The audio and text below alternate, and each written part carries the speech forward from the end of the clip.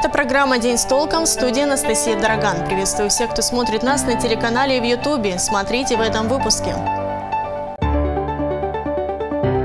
Вновь шлем спортсменам лучи поддержки онлайн. Четвертая волна коронавируса вмешалась в ход соревнований. Вода не подходит даже для стирки. Что еще нужно сделать жителям Сибирской долины, чтобы пить чистую воду из-под крана? Улететь от проблем, какие страны сейчас принимают российских туристов и по каким правилам. 32 человека в крае сегодня скончались из-за коронавируса, и это очередной страшный рекорд пандемии. Напомним, из-за резкого скачка зараженных в крае ввели QR-коды на посещение мест массового скопления людей. И пока без них попасть в торговые центры невозможно, в общественном транспорте края по-прежнему многие ездят без масок. А это, по сути, единственная мера защиты, кроме вакцины, конечно. Проверить наличие масок сегодня решила целая комиссия из представителей мэрии, полиции, Роспотребнадзора. Цена этой улыбки от 15 до 40 тысяч рублей. Забывчивость водителя полиция запротоколировала, как штраф за несоблюдение масочного режима. Матвей проходит. Дом Союзов и стал камнем преткновения, где остановили 7 автобусов. Без масок оштрафовали двоих, оба были водители. Но в списке нарушителей могли оказаться и пассажиры. Сегодня проходит совместный рейд по выявлению э, линейных работников, которые отказываются выполнять предписания Роспотребнадзора по соблюдению масочного режима. Также это касается и пассажиров. К пассажирам, судя по всему, отнеслись снисходительно, хотя юристы говорят, что маску обязан носить каждый и во всех общественных местах. Остановка тоже является таковой. Так или иначе, проверки продолжаются, и их обещают усилить. Со слов администрации, их проводят три раза в неделю. Каждый раз по итогу порядка 15 новых протоколов административного характера. Поэтому еще раз напомним, что сегодня забывчивость стоит дорого – от 15 до 40 тысяч рублей. Анастасия Наборщикова, Вадим Быстревский. День с толком. Кстати, сегодня стало известно об очередных ограничениях на фоне тревожной статистики по ковиду. С 3 ноября все спортивные мероприятия в крае будут проходить без зрителей. Об этом сегодня сообщил глава регионального Минспорта Алексей Перфильев. К примеру, без болельщиков пройдет последний домашний матч осенней части сезона футболистов «Динамо Барнаул», а 13, 14, 16 и 17 ноября поболеть не удастся из-за хоккеистов «Динамо». Однако тренироваться как спортсмен спортсменам, так и простым любителям фитнеса разрешено. Для них с 15 ноября вводится QR-код при входе в зал. При наличии медотвода покажите соответствующую медицинскую справку и отрицательный ПЦР-тест. К детям до 18 лет эти ограничения по тренировкам не относятся. Поставить вакцину от COVID-19 в Барнауле обещают с минимальными потерями. Это касается времени ожидания. Минздрав теперь будет проводить мониторинг приема пациентов на мобильных прививочных пунктах. Это сделано специально для тех, кто хочет привиться без записи и, что называется, прямо сейчас. Сегодня в Барнауле таких пунктов три. Все они находятся в торговых центрах «Весна», «Праздничный» и «Геомаркет». Мониторинг заключается в том, чтобы каждый в режиме онлайн на сайте Минздрава региона мог узнать, сколько сейчас людей в очереди на вакцинацию. Для этого на площадках работают студенты Алтайского медколледжа. Раз в час они обновляют информацию. Их задача – посчитать людей и определить время ожидания. Также они ведут общий подсчет вакцинированных. Так, например, в 3 часа дня в «Геомаркете» в очереди стояло 53 человека. Каждому пришлось ожидать вакцинацию около часа. К тому времени там было привито около 300 человек. Порог превышен, и это сейчас не о ковиде. За текущую неделю почти 33 тысячи жителей края заболели ОРВИ. Среди них и взрослые, и дети от 7 до 14 лет. Однако случаев заболевания гриппом в крае пока не зарегистрировано, сообщает Роспотребнадзор региона.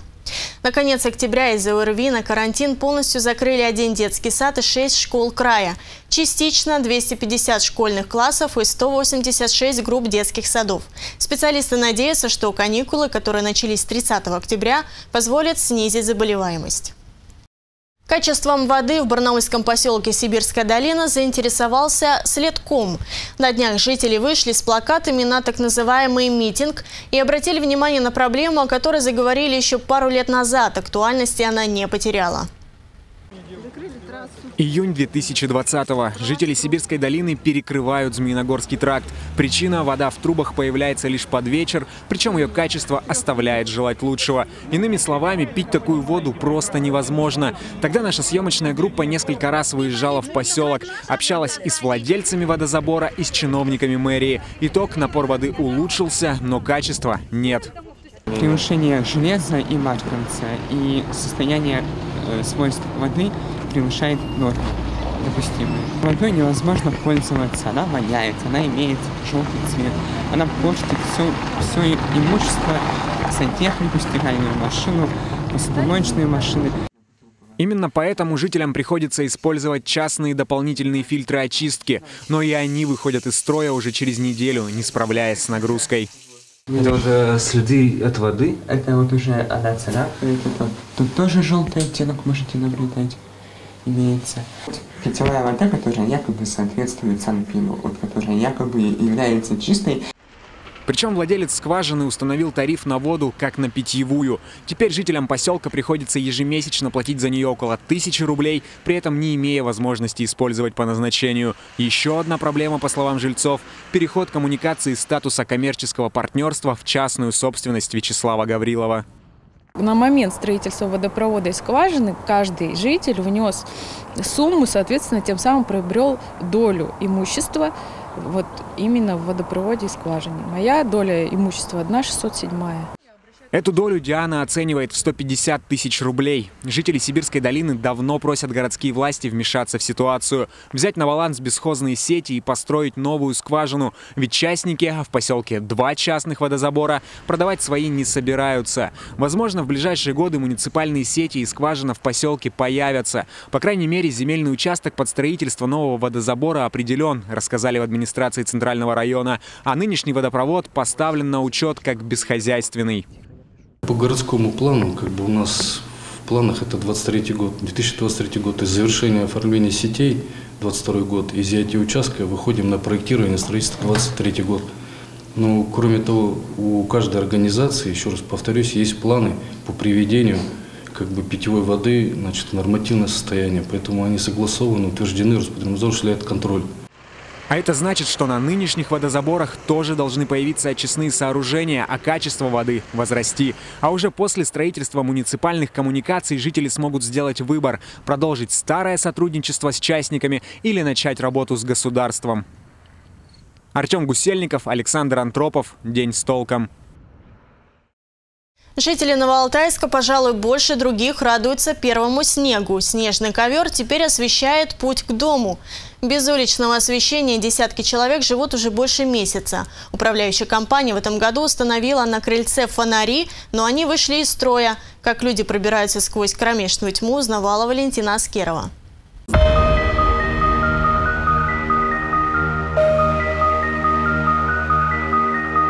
Вот у нас забор, как идет, отгородили нас. И вот так вот вдоль до гаражей мы идем по темноте. Это вот сейчас вечером еще горят окошки, маленько дорогу видно.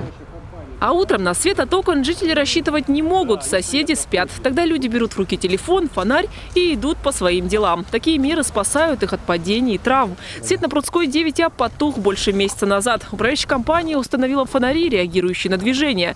Но те перегорели спустя всего несколько месяцев.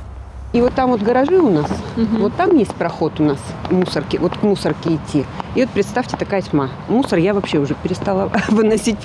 Помимо освещения у подъезда уже который год не горят фонарные столбы. Здесь, говорят, раньше можно было пройти по освещенной дороге, но путь отрезало местное училище, установив забор.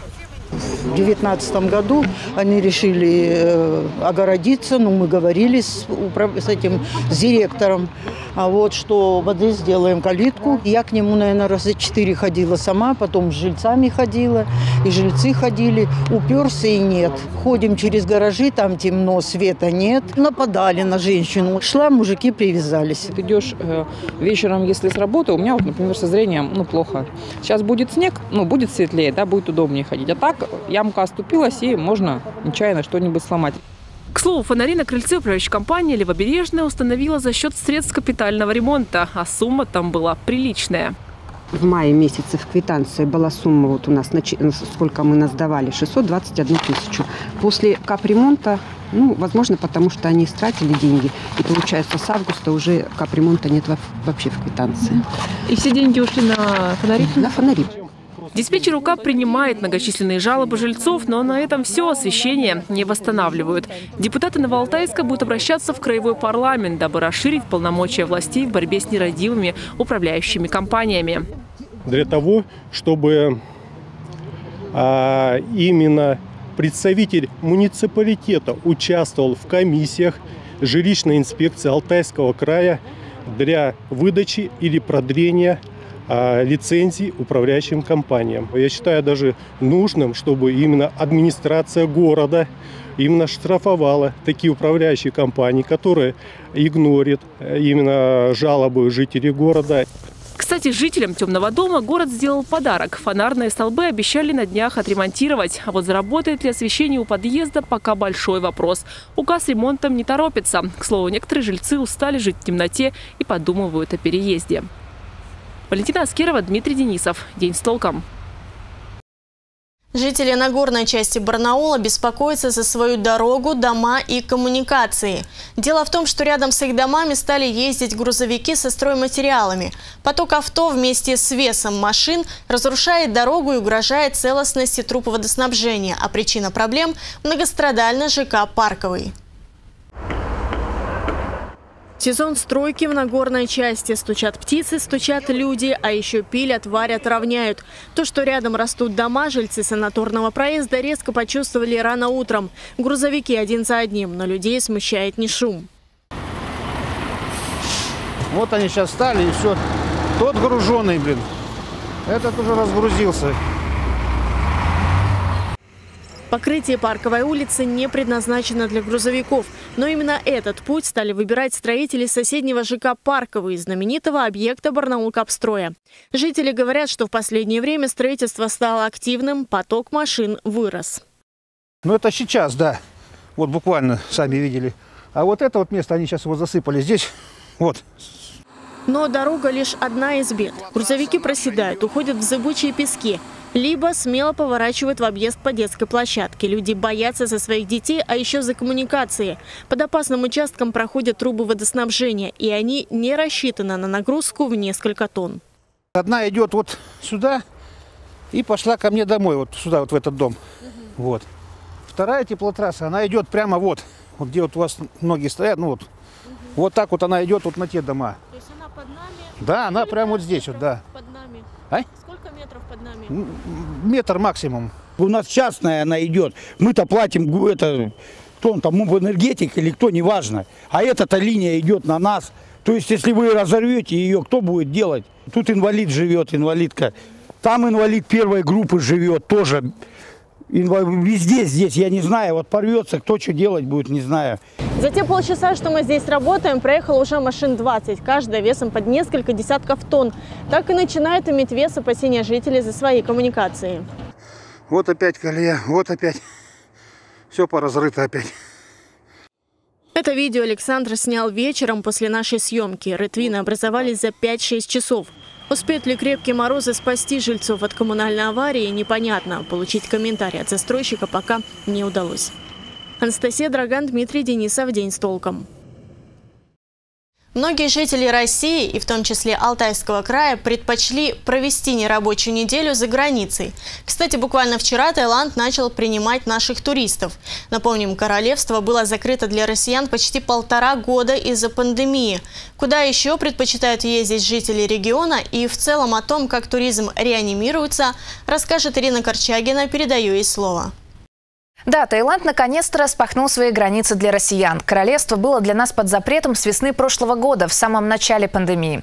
Мне и моим коллегам из редакции тогда удалось запрыгнуть в последний вагон и отдохнуть в Таиланде прямо перед его закрытием. Признаться, время тогда было очень необычное. Так, в конце марта прошлого года в Таиланде ввели комендантский час. Уже после шести вечера туристы должны были находиться только в своих отелях. А кто был в Таиланде, знает, что как раз-таки вечером там начинается все самое интересное бассейны, игровые площадки на территории отелей были закрыты. Отменили многие экскурсии. Улицы, рестораны, салоны опустели. Леди-бои разошлись по домам. Всем туристам, прилетевшим в Россию из-за границы, приходилось две недели провести в самоизоляции. Какая сейчас обстановка в Таиланде, совсем скоро смогут рассказать туристы, которые отправились туда на первом рейсе. Жители Алтайского края пока могут улететь в королевство из Новосибирска. Билеты уже активно разбирают. Таиланд признал прививку «Спутник Ви». Туристы из России должны быть привиты только спутником. Важно, с момента введения второй прививки должно пройти не менее 14 дней. Но, что самое интересное, хоть Таиланд и открылся для россиян, есть одно «но», которое необходимо учитывать при планировании своего отдыха. По прибытию туристы должны будут пройти ПЦР-тест, естественно, туда приехать уже с отрицательным ПЦР-тестом, а, прожить 7 дней а, в строго определенных гостиницах, пока режим песочницы еще полностью никто не отменял. То, что уже пускают э, туристов из России, это уже фактически открытие. Длительный период времени мы вообще не имели такой возможности. А еще в обязательном порядке за сутки до вылета в Россию туристу необходимо заполнить специальную форму, чтобы уведомить Роспотребнадзор о том, что человек летит на родину. Когда турист возвращается, в течение трех дней необходимо сдать ПЦР-тест, даже ребенку, иначе грозит штраф до 30 тысяч рублей. Что касается других популярных направлений, сейчас для нас открыты Турция, Доминиканская республика, Объединенные Арабские Эмираты, Египет. Кстати, Египет открыли для россиян еще летом, спустя 6 лет перерыва. Россия прекратила прямое авиасообщение с Египтом э, осенью 2015 года после теракта в небе. Речь идет о крушении самолета «Кагалым Авиа» над Синайским полуостровом. Самолет летел в Санкт-Петербург. На борту находилось более 200 человек, все погибли. И вот сейчас Египет – единственная страна, в которую можно улететь прямиком из Барнаула, в частности в Хургаду или Шарм-эль-Шейх.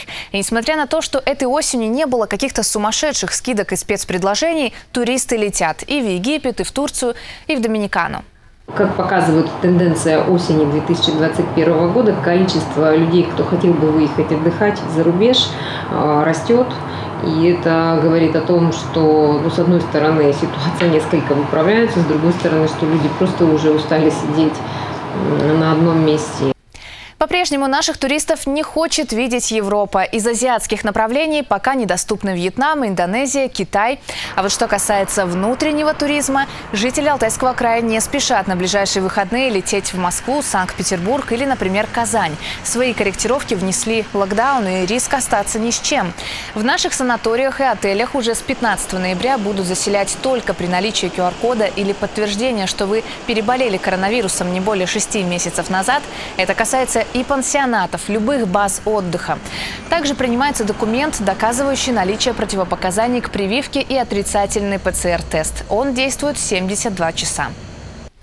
В целом сейчас особых потрясений для туризма нет, даже с введением QR-кода. Путешествия за рубеж, путешествия ну, а, на наши южные направления, Сочи, Крым, они действовали и летом.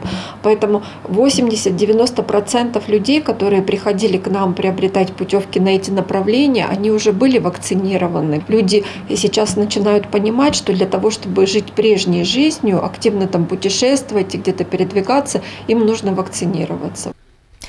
Кстати, в Алтайском крае этим летом отдохнули почти 900 тысяч человек. Это на 40% больше, чем в прошлом году, но все еще меньше процентов на 15 по сравнению с 2019 до пандемийным годом. На этом у меня все.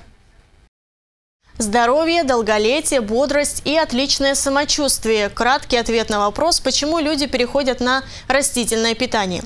В начале ноября в мире отмечали Международный день вегана. Почему все больше людей выбирают такой стиль жизни и с какими трудностями они сталкиваются, расскажем далее. Отказ от мяса, рыбы, молока и других продуктов животного происхождения. Веганы живут именно так. Это не диета, а стиль жизни, который основан на особых взаимоотношениях человека и животного мира. Многие веганы выбирают этот путь по этическим причинам, а кто-то вдохновляется своими кумирами, как, например, Даниил. Он веган с 11-летним стажем. Переход на растительную пищу прошел осознанно в 18 лет. Все началось с увлечения панк-роком. Э, в этой среде модно быть вегетарианцем, либо веганом. И я стал вегетарианцем, но довольно быстро понял, что вегетарианство не особо помогает защиту, защите окружающей среды, и оно не снижает спрос на производство животной продукции.